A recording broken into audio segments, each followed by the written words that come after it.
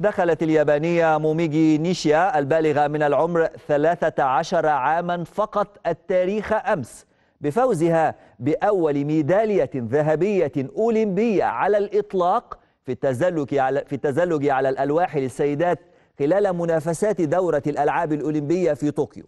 واعتلت نيشيا منصة التتويج مع البرازيلية رايسا ليل صاحبة الثلاثة عشر عاما أيضا التي حصلت على الميدالية الفضية.